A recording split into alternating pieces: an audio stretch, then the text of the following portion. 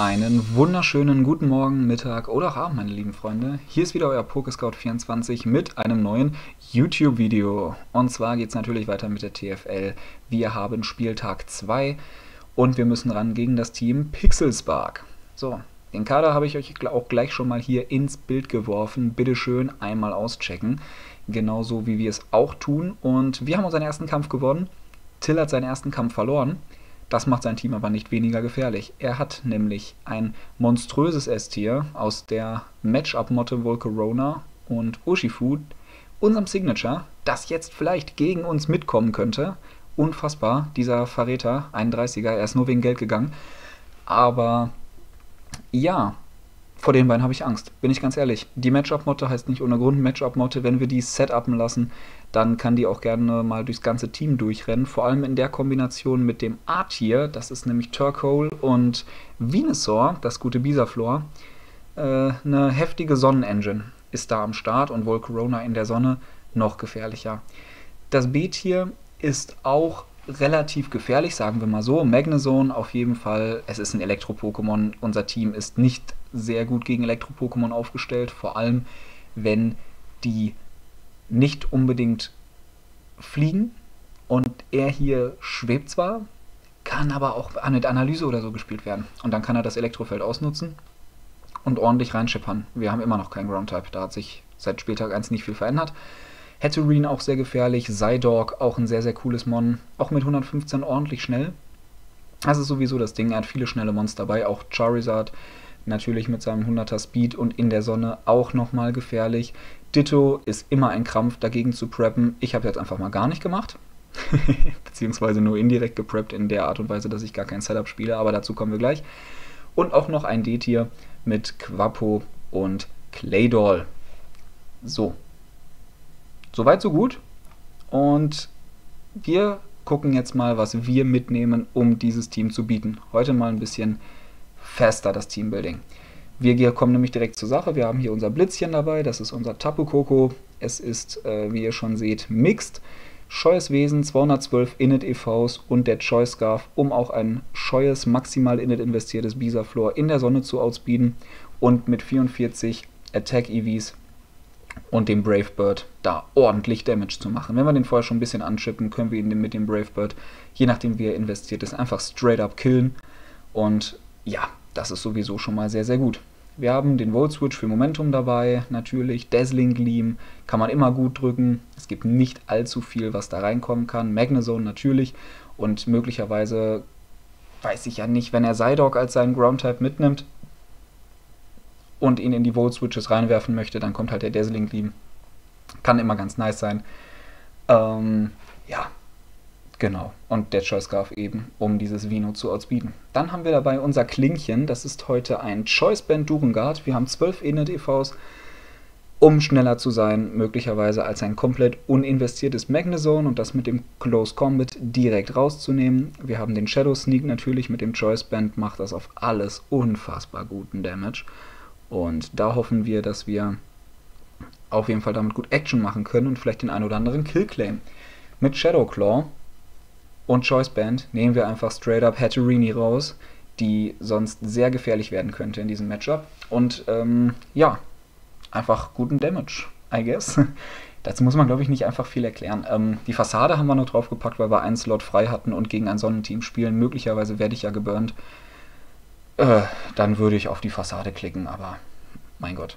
Dann haben wir unser Kingchen dabei, das ist Slowking mit der Assault West tatsächlich. Wir sind komplett Füstev und haben den Counter im Set, um die möglichen U-Turns von Urshifu zu punishen. Also wenn Wula Osu in uns rein U-turnt, kriegt halt irgendwas, was dann reinkommt, um die 200 KP Damage, wenn er Choice Bandit ist und ein bisschen weniger, wenn er nicht Choice Bandit ist, aber jedenfalls dieser Konter knüppelt ordentlich rein und wir müssen halt hart rauswechseln. Wir spielen die Assault West, weil sein Team sehr, ähm, wie sagen wir es, speziell angehaucht ist und ja, komplett Füstev mit Assault West tankt er auf beiden Seiten ziemlich gut. Wir fangen die Angriffe von Oshifu noch ganz gut ab und tanken aber auch beispielsweise einen Thunderbolt von einem Specs Magnezone wenn jetzt nicht gerade das Electric Terrain draußen ist. Wir spielen Psychic gegen Urshifu Und generell Psychic Step Move sollte man zocken. Scald ist in diesem Matchup nicht ganz so geil, weil er halt die Sonne rausholt. Aber hier und da vielleicht mal einen Burn abgreifen wäre auch nicht verkehrt. Der Flamethrower, ein sehr wichtiger Move,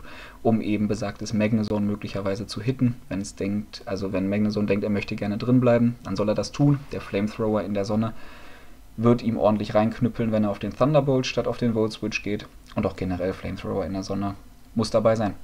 Wir haben unser Öhrchen dabei. Es trägt die Boots, es kann Defog, weil wir mögen keine Rocks. Und mit Turkole hat er Torkole hat er einen sehr, sehr validen Rocksetter dabei. Und ähm, ja, sollte er die Rocks legen, wollen wir die direkt wieder weghaben. U-Turn für Momentum, da habe ich länger überlegt, ob ich U-Turn oder Roost spielen möchte. Habe mich dann für U-Turn entschieden, weil ich immer auf U-Turn drücke. Und mit Draco und Hurricane zwei Steps halt einfach, die reinknüllen sollen da gibt es eigentlich nicht großartig was zu erzählen. Wir spielen äh, Scheus Wesen und 196 Speed EVs, damit die halt immer reichen, um ein maximal Jolly Saiga zu outspeeden. Wer den nicht scarfen sollte, Seigert kann man auch immer gut äh, Bandit mitnehmen, den guten Psydog. Da ist der ganz geil. Wir sind kein guter Switch-In in denen, aber mit 52 KP Investment leben wir auch noch das ein oder andere und da wir nicht in die Rocks reinkommen müssen, ist der auch ganz geil. So, da Manhattan, natürlich absoluter MVP. Ich hoffe, dass der einiges machen kann. Der kann zwar nicht allzu viel outspeeden, aber das, was er outspeeden kann, das killt er hoffentlich auch einfach. Und ja, wir haben die U-Turn dabei, wir haben den Flare Blitz und Rockslide aus gegebenem Anlass und Willow Wisp haben wir einfach nochmal dabei, falls, ich habe keine Ahnung, er, er hart raus in Ulfshifu switchen möchte, weiß ich nicht. Aber da, auch da war wieder ein vierter Slot frei. Und ich dachte mir, der Will-O-Wisp, der kann jetzt auch nicht problematisch sein. Wird schon passen. Speed EVs passen, äh, um ein Vino, glaube ich, zu outspeeden, außerhalb der Sonne. Ähm, auf viel anderes konnten wir nicht Speed creepen. Wir spielen Hauptsache Adamant 252, um einfach nur pur reinzuböllern. Das ist unsere Trumpfkarte. Speziell defensives Typ 0 mit Rockslide und Flame Charge ist mein Patentrezept, um Venusaur und Volcarona aufzuhalten. Volcarona kann auch gerne Quiver dancen, selbst auf plus 2 ähm, two-shottet er mich nicht, es sei denn, er hat die, also er hat die Sonne draußen. Und ähm, ja, wir können ihn halt mit Rockslide einfach komplett aus dem Leben böllern. Es wird wahrscheinlich kein One-Hit werden, aber definitiv ein Two-Hit. Immer, egal wie er investiert ist, ist es immer ein Two-Hit. Das ist das Geile an der Vierfachschwäche.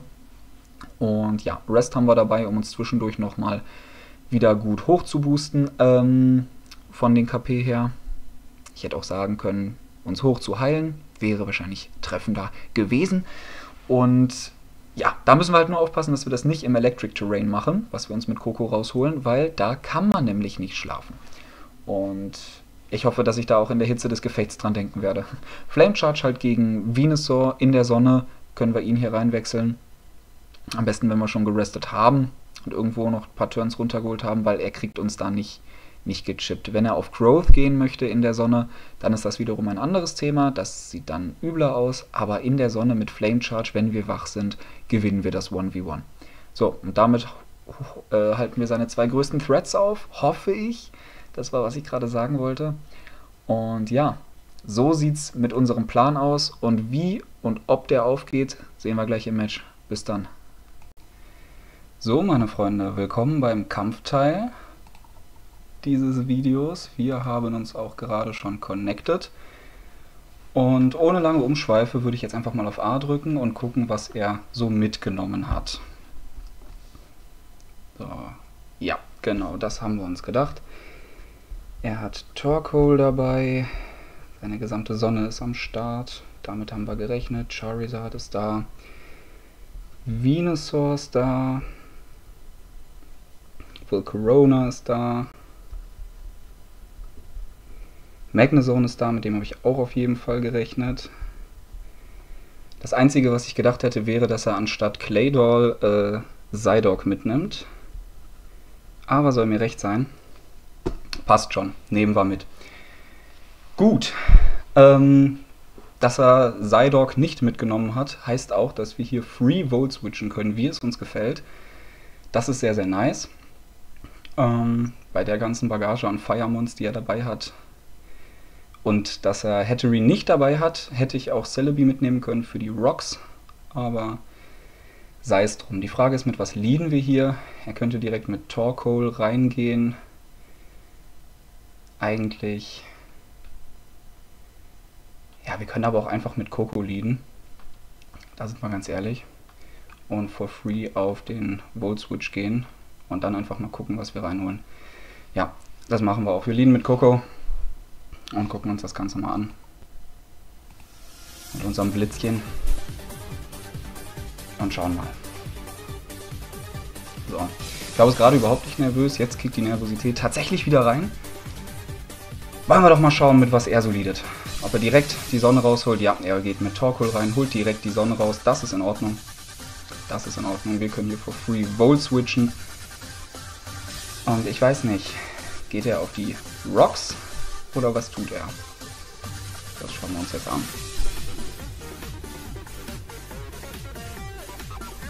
Da ist er. Die Sonne. Seine größte Waffe und seine größte Gefahr hier für uns. Wir gehen auf den Volt Switch. Das ist relativ simpel. Und dann gucken wir mal, wie viel Damage wir machen. Je nachdem. Oh, er wechselt raus. Okay. Okay, okay, okay. Okay, er geht in Claydor. Ja, sehe ich. Der dürfte den Volt Switch gut abfangen. Ach nee, der ist ja Ground. Ich dachte, hä? Ach ja, ich dachte irgendwie, der wäre, ähm, hier, wie heißt das? Äh, Gestein. Gut, dass ich mich so, so, so gut vorbereitet habe. Auf jeden Fall schon mal nice. Ähm, Claydol. Wie viel Claydol, wie viel machen wir hier denn? Genau, der ist ja Ground Psychic. Ich dachte irgendwie, der wäre äh, hier Gestein Psychic. Auf jeden Fall schon mal gut. Da haben wir auf jeden Fall mal reingenilst. Ähm, Slow King macht in der Sonne ja erschreckend wenig. Aber er macht uns halt auch nichts, weil wir die Assault West tragen. Hm, wir könnten auch überlegen, hier in Darmanitan zu gehen. Ich glaube, Darmanitan ist es an dieser Stelle. Ich glaube, Darmanitan ist es. Weil er wird hier für die Rocks gehen, denke ich mal. Oder... Oder er wird teleporten, ja. Das ist auch vollkommen fair. Na, schauen wir mal. Wir sind jetzt hier in der Sonne mit Darmanitan drin. Das ist schon mal ganz gut. Jetzt ist die Frage, in was wird er gehen. Er geht in Torko. Ja, ja, ja. So, Torkoal.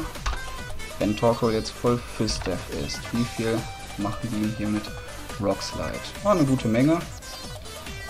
Werden wir jetzt auch einfach mal tun.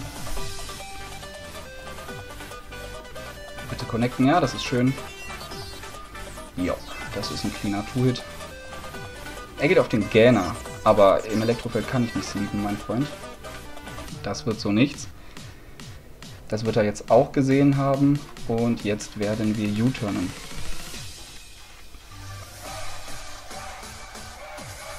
Aber auch sehr schön. Wir sind irgendwie drei, vier Turns in dem Match und haben schon beide gemisplayt. Das ist sehr nice. Machen wir gut, machen wir gut.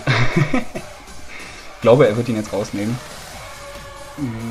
Ich glaube nicht, dass er seinen Torkoal hier schon verlieren möchte. Und dann ist die U-Turn natürlich unser bester Play.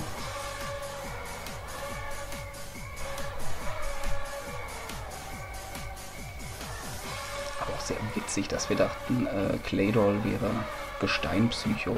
Hey, natürlich, der ist Bodenpsycho. Ja. So, und jetzt U-Turn wir hier. Er geht in Magnezone. Okay, okay, okay, okay. Jetzt sieht er auch, dass wir Live-Up sind. Und worin gehen wir jetzt? Ähm, verlieren wir hier großartig viel, wenn wir hier in unser Dugengard das erste Mal gehen? Ich glaube tatsächlich nicht. Ich glaube tatsächlich nicht. Wir gehen hier mal in Dugengard.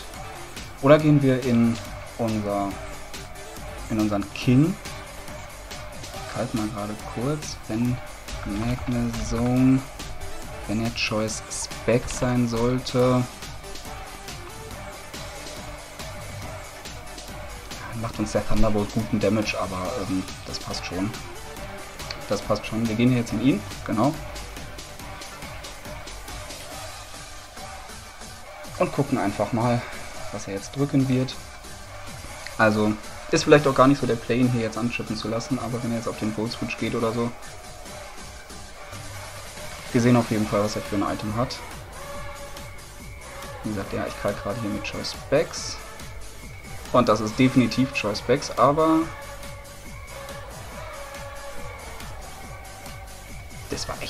verdammt viel Damage. Also eigentlich soll er sollte mir 72% machen mit Choice Specs Max Roll Modest.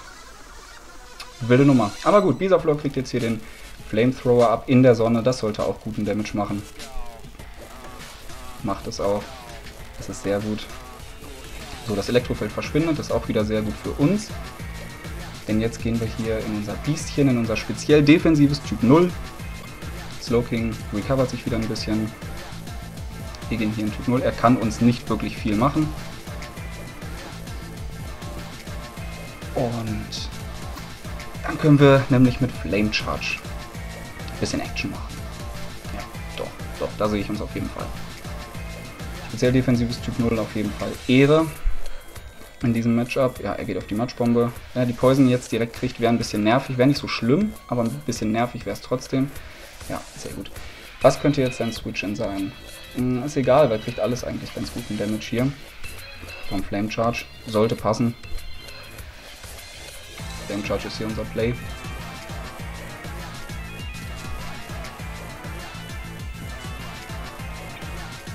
Und er überlegt. Er überlegt auch, in was er jetzt gehen soll. Speziell defensives Typ 0 immer noch, also nochmal geiler, weil er ja Charizard dabei hat und die Rockslide auf jeden Fall Charizard und Volcarona in ein anderes Universum befördert.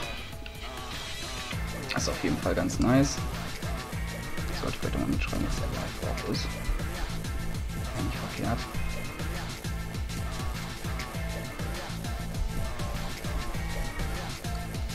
Er überlegt hier relativ lange. Aber er ruft ihn raus, in Ordnung. Und worin geht er? In Claydor. Ja, das sehe ich. Das sehe ich. Der fängt hier den Flame Charge sehr gut ab.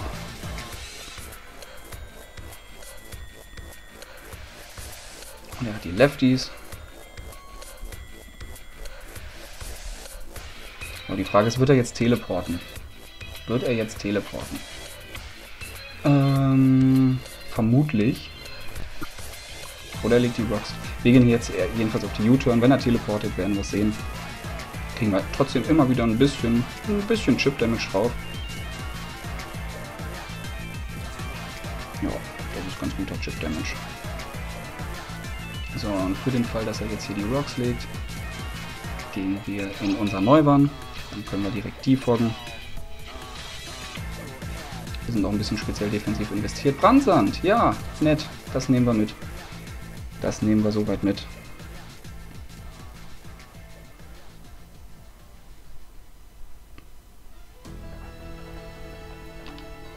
Gut, jetzt, wenn er nicht die Rocks legt, er könnte jetzt hier in Magnazone rausgehen, um den Draco gut abzufangen. Wir U-Turn hier nochmal. Wenn er auf den Teleport geht oder einfach straight drin bleibt. Ja, sehen wir. Wir chippen ihn aber immer weiter gut runter. Das ist ganz nett. gehen wir wieder in unser Slow King, um damit anschließend auch wieder rauszuwechseln und uns ein bisschen den Regenerator Bonus zu holen. Den Beam, ja, den fangen wir super ab. Freeze wäre sehr uncool, aber das Spiel ist fair. Jetzt ist die Frage, scalden wir oder doublen wir direkt auf den Magnezone Switch glaube, wir gehen hier für den Scald. Doch, ich glaube, wir gehen für den Scald. Er hat Oshifu nicht dabei. Fällt mir auch gerade mal so auf. Das gesamte Konterset ist damit irgendwie für den Arsch. Aber gut. Ja, er geht raus. Sehe ich auf jeden Fall. Hätten wir auch, ja genau, Magnezone. Wir hätten auch direkt in Darmanitan doublen können. Das wäre auf jeden Fall eine weise Entscheidung, glaube ich, sogar gewesen. Aber gut. Ein Crit, ja, das war eine Menge Damage. Das ist ein bisschen unfortunate. Ähm, der Roll Switch für ihn ist jetzt auch wiederum relativ free, I guess. Und ja, wir können hier in unser Biestchen gehen und dann erstmal Rest drücken möglicherweise. Wir können aber auch den offensiven Switch machen und den Coco, aber mit Coco treffen wir ihn halt schlecht und wenn er dann wieder in Claydol geht, ist auch doof. Aber warte, wir machen das einfach mal. Wir gehen jetzt in Coco und wenn, werden den Volt Switch hoffentlich ganz gut tanken. Hoffentlich. Wäre blöd, wenn er uns jetzt richtig, richtig hart runterchippt. Das hätten wir vielleicht vorher kalken können, aber mir ist gerade nicht nach Kalken. Vor allem, weil wir ihm noch das Elektrofeld rausholen. Wenn er jetzt unser Coco rausnimmt, wäre schlecht. Das wäre schlecht. Ne, aber das nehmen wir ganz gut. War aber eigentlich ein Missplay. War, glaube ich, ein Missplay. Ich wollte aber unser Typ 0 nicht so hart anschippen lassen, weil wir sonst gegen Volcarona echt schlecht dastehen. Und er wird jetzt wahrscheinlich hier wieder direkt in, in sein Claydol gehen. Und dann kann er die Rocks kriegen. Dann kann er die Rocks kriegen. Und da er den Ice Beam hat, kann ich auch nicht einfach for free in Neuwang gehen. Was auch ein bisschen belastend ist.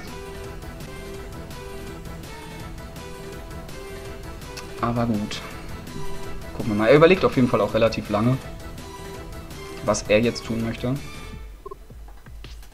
Naja. Ja, wir, wir spielen das Ganze hier noch nicht sonderlich clean und auch nicht sonderlich gut. Das müssen wir einfach mal so zugeben. Aber es, es passt schon, sage ich. Es passt schon. So, er geht in Torkohl.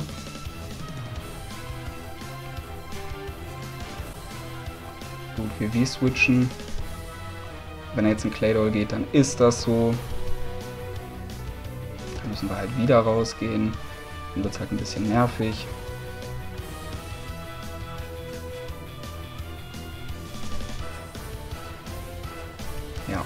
Claydol. Das hätten wir auch predikten können. Wie gesagt, wir callen hier alles so ein bisschen, aber machen nichts draus. Na gut, dann ist dem so. Ich bin auch ein bisschen ermüdet, sagen wir es mal so, von dem letzten von dem letzten Match, was wir uns angeguckt haben. So, wir gehen hier. Hm, er könnte jetzt auf den Brandsand gehen.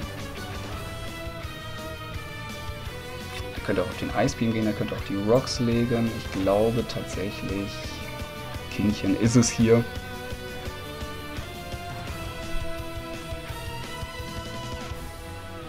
Kingchen ist es hier. Wenn er jetzt in Magnezone doubled, wäre krass. Ne, er geht auf den Brandsand, er bleibt safe. Dann hätten wir auch in Neuwang gehen können. Ja, und jetzt kriegt er den Burn. Ist irgendwann auch einfach nur fair, muss man so sagen. Und jetzt gucken wir mal. So, wenn wir jetzt auf den Scald gehen, so in der Sonne. Claydol, was macht denn mehr Damage? Weil dann könnten wir theoretisch den Magnezone Switch auch direkt punishen. Und den gegebenenfalls rausnehmen. So, in der Sonne. Macht der Flamethrower sogar tatsächlich mehr. Das heißt, wir verlieren nichts, wenn wir einfach mal drauf gehen. Könnte auch einfach teleporten. Ich glaube, das wird er auch möglicherweise tun. Ja, genau. Aber wir geben ihm noch ein bisschen Chip-Damage mit auf die Reise. Jetzt kommt allerdings wieder Magnezone rein. Und dass der Junge ein Problem ist, das wissen wir. Das wissen wir. Die Frage ist, ob wir Slowking nicht auch so langsam mal abwerfen können. Bin eigentlich nie so ein Fan davon, Mons abzuwerfen, aber Slowking war halt hauptsächlich gegen Urshifu da und auch ein bisschen um Venusaur aufzuhalten, weil mit der Assault West tanken wir dann das ganz gut und in der Sonne der Flamethrower hat, wie wir gesehen haben, enormen Damage gemacht. Also eigentlich in dem Matchup ist der gar nicht mehr so krass. So, er geht auch in Vino. Mm, er geht auch in Vino. Ist die Frage, da kommt doch jetzt der Giga Drain, oder?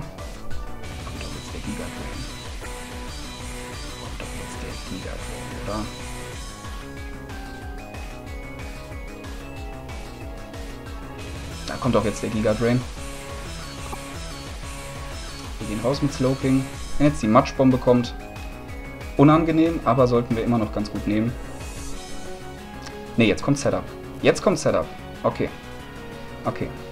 Jetzt wird's gefährlich. Wie viele Sonnenrunden hat er noch? Hm. Wie viele Sonnenrunden hat er noch? Drei noch. Okay, auf plus zwei. Jetzt wird's gefährlich. Minus oh, plus zwei. Nehmen wir mal an, du bist modest. Nehmen wir mal an, du bist plus 2. Dann leben wir im ganzen Universum keine Sludge-Bomb mehr. Und Typ 0 frisst auch keine 2 mehr. Das ist ein bisschen belastend. Das ist ein bisschen belastend, sagen wir es mal so. Ähm, wer aber definitiv noch eine frisst, weil er nicht auf den Giga Drain gehen wird, ist Slowking. Weil ich kann hier nicht, ich kann hier nicht in, in Igni gehen. Das, äh, das kann ich nicht tun, oder? Das kann ich nicht tun. Denn wenn er dann doch auf was anderes drückt, sind wir weg. Wir hätten ihn gehen können, das wussten wir aber nicht.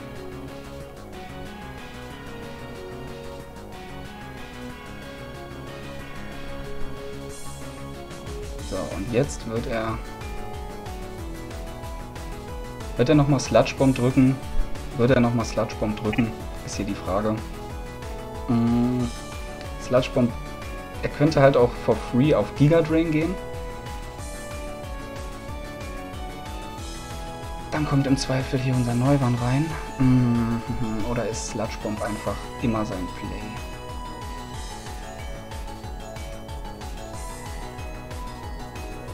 Schwierig. Schwierig. Ähm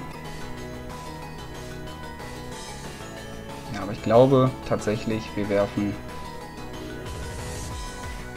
werfen wir Lashoking ab? Brauchen wir Lashoking noch für irgendwas besonders? Nicht wirklich. Nicht wirklich. Wir werfen Lashoking jetzt ab. Dann müssen wir uns darüber keine Gedanken machen. Er geht auf den Giga Drain. Wir hätten tatsächlich in Neuwahn gehen können. Hätten wir tatsächlich machen können. Gut. Dem ist jetzt so. Aber jetzt können wir ihn immer revengen.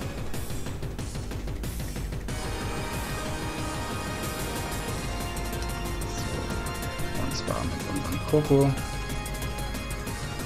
Wobei, wenn er dann wieder in Claydol geht, ist das auch unangenehm. Gehen jetzt hier in A-Slash. Und der Shadow Sneak ist jetzt relativ offensichtlich, aber ich möchte auch ungern was anderes drücken. Da bin ich ganz ehrlich. Ich könnte jetzt in Volcorona gehen und auf den Flame Buddy hoffen, wenn er ihn spielt. Wenn er den kriegt, wäre das richtig RIP.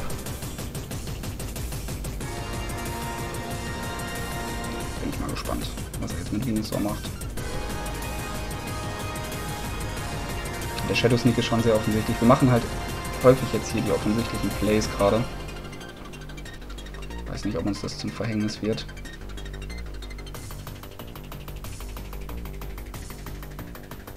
Aber auf plus 2 ist Venusaur halt einfach eine zu große Gefahr, vor allem weil er noch ein oder zwei Sonnenwunden hat. Ich glaube zwei sogar noch.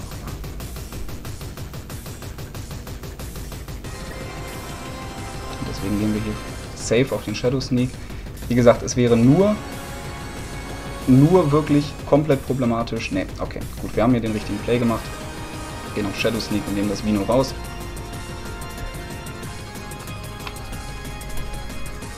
Das ist gut. Das ist gut. So, und die Sonne geht jetzt weg. Die Frage ist, holt er sie sich direkt wieder raus?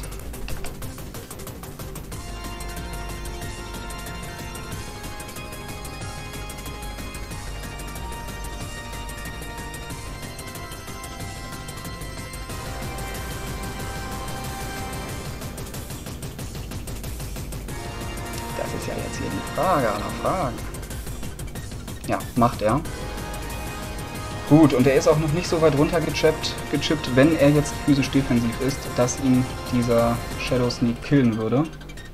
Leider nicht. Der Junge ist nämlich physisch defensiv eine echte Gewalt. Und ich glaube, das können wir nicht riskieren. Und ich glaube, er könnte jetzt auch die Rocks legen tatsächlich. Ich glaube, Öhrchen ist hier immer der richtige Play. Können wir nämlich zur Not defoggen. Und ich glaube, Magnezone ist auch nicht mehr so... Hey, gut, jetzt setzt er den Gegner ein, das hat er gut gemacht. Hätten wir auch tatsächlich auf den Shadow Sneak gehen können. Ich werde bekloppt. Ich werde bekloppt. Ähm, jetzt ist die Frage. Wollen wir hier unseren Neuwagen eine Runde pennen lassen? Eigentlich nicht. Eigentlich nicht. Eigentlich können wir hier auch. In was geht er denn? In was geht er denn? Wir müssen uns jetzt echt mal beeilen, wir haben nicht mehr viel Timer. Ähm, wir wollen ihn aber nicht pennen lassen. Wir gehen in ihn hier. Weil wir haben auch Rockslide. Und wir fangen jetzt eigentlich alles, genau, wir fangen nämlich alles gut ab, was jetzt hier von ihm nämlich kommt. Und gehen jetzt auf den Rockslide.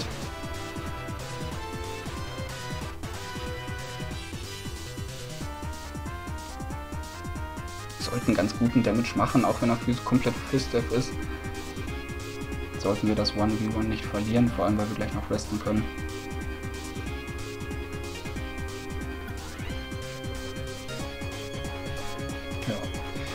Ja, ja, ja, ja, ja. Und wir haben uns halt extrem viel Zeit gelassen jetzt, aber jetzt müssen wir ein bisschen schneller spielen. Und wir müssen gleich auf jeden Fall auch mal resten mit dem Jungen hier. Damit er noch in einer annehmbaren Range für Volcorona ist.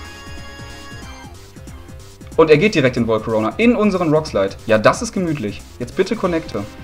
Bitte connecte. Sehr schön. Sehr schön. Genau das wollen wir hier von dir sehen. Genau das wollen wir sehen. So. Und jetzt gehen wir hier auf die Nitro-Ladung. Oder? Ne, Genauigkeit 90. Gönn einfach Spiel, gönn einfach Spiel. Flame Charge wäre, glaube ich, der bessere Play gewesen. Ja, okay, er geht auf den Flamethrower, den tanken wir gut. Wir sogar sehr, sehr gut. Bitte connecten wir. Sehr schön, Volcorona weg. Vor dem Jungen hatte ich nämlich Angst. Vor dem Jungen hatte ich Angst.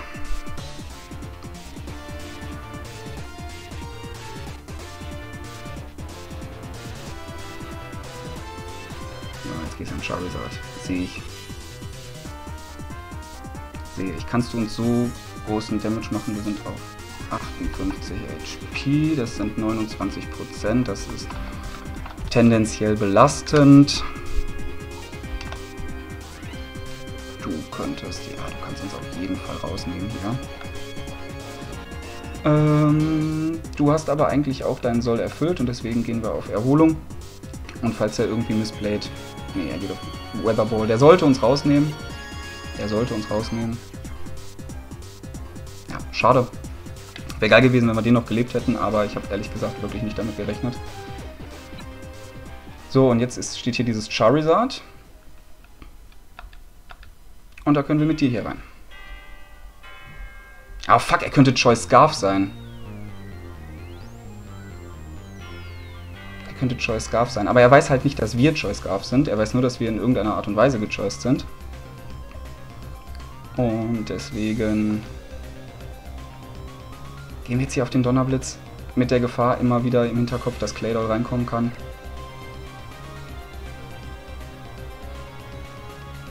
Ja, ich glaube, das müssen wir tun. Ich glaube, das müssen wir tun. Er kann jetzt mit Claydol rein. Ja, kann er machen.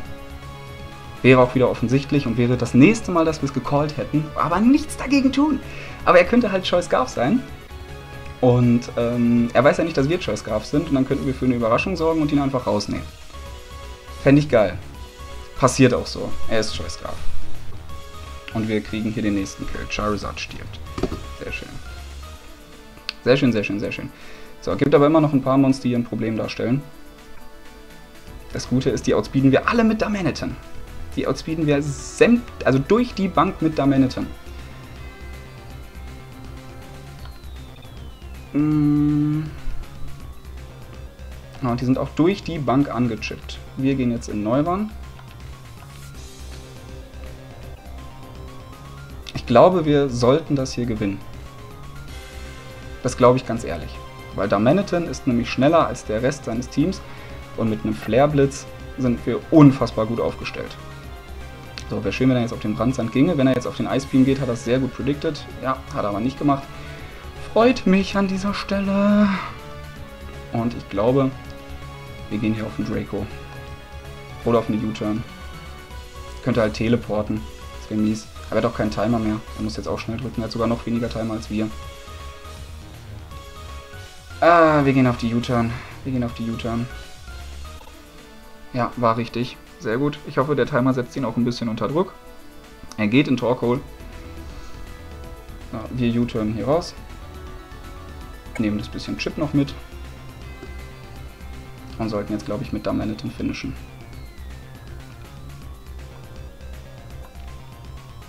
Und zur Not haben wir auch alles, glaube ich, so angechippt, dass äh, Aegislash das auch noch gewinnen kann. So, die Frage ist so, ach, die Sonne ist weg, ja, schade. Wäre jetzt tatsächlich besser für uns, aber wir gehen jetzt hier auf den Rockslide, weil der garantiert killt. Wenn wir den hitten, das wäre sehr gemütlich, wenn wir den Rockslide hier auch wieder hitten könnten. Aller guten Dinge sind drei. Zwei mit Typ 0, ein mit Damaniton. Komm schon, bitte connecte.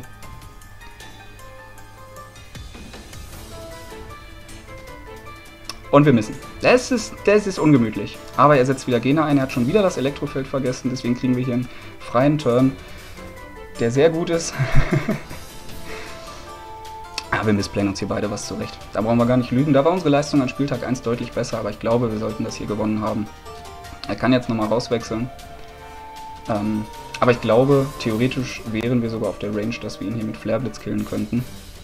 Aber warum denn was riskieren? Und warum den Chip mitnehmen? Ja, Torko stirbt, genau. Warum den Chip mitnehmen, wenn wir ihn auch einfach so killen können? Und jetzt sollten wir eigentlich mit äh, Flare Blitz das Ding nach Hause fahren. Weil dieses Magnezone muss Choice Back sein, sonst hätte der mir niemals so viel Damage gemacht. Ich habe übrigens ohne das Elektrofeld gekalkt, deswegen war der Damage vorhin auch so enorm. Da hätten wir dran denken können, das mit in den Kalk reinzunehmen. Aber nachher ist man immer schlauer und der Flare Blitz sollte jetzt eigentlich hier aufräumen. Er lässt sich nochmal extrem viel Zeit, aber er hat doch nur noch 30 Sekunden. Dann geht nochmal raus. Okay, nochmal ein Magnezone. Ja gut, aber der stirbt halt auch.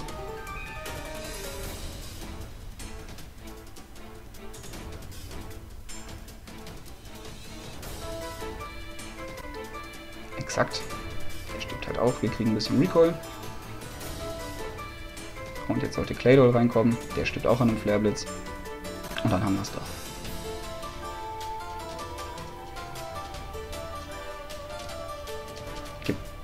Ah, die Zeit ist abgelaufen. Okay. Gut. Er wäre jetzt auch an einem Flareblitz gestorben.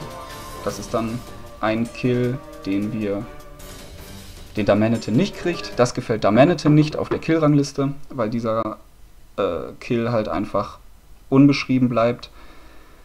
Steht so in den Regeln drin. Deswegen Damanitin gefällt das nicht. Uns gefällt das allerdings. Wir haben auch den Spieltag 2 für uns entscheiden können. Und ja, Unsere Leistung war nicht allzu Bombe. Da sind wir ganz ehrlich. Mein Commentary war heute auch nicht so on point. Insgesamt eine durchwachsenere Leistung, aber das zeichnet doch auch den ein oder anderen Spieler aus, dass man trotz relativ schlechter Leistung seine Matches doch noch gewinnt. Till hat hier auch auf jeden Fall keine schlechte Leistung abgeliefert. Es war ein spannender Kampf, aber ich würde mal sagen, den haben wir aufgrund unserer guten Vorbereitung gewonnen, nicht aufgrund dessen, was wir dann im Match abgeliefert haben. Soll mir aber auch herzlich egal sein. GG Until sind jetzt leider für ihn zwei Niederlagen zum Start. Ich hoffe, er kommt da unten nochmal raus, weil äh, seine spielerischen Qualitäten sind eigentlich besser als null Punkte aus zwei Spielen. Aber für mich freut es mich natürlich, ich kann mich weiter oben festbeißen. Und ja, wir sehen uns nächste Woche wenn es dann an Spieltag 3 gegen den guten Niklas geht, äh, was dann ein kleines Spitzenspiel wird, weil auch Niklas hat seine ersten beiden Spiele gewonnen. Das heißt, es treffen zwei Leute mit sechs Punkten an der Tabellenspitze aufeinander. Da können wir hoffentlich eine bessere Leistung zeigen als heute. Wir sehen uns auf jeden Fall. Macht's gut. Hade ciao.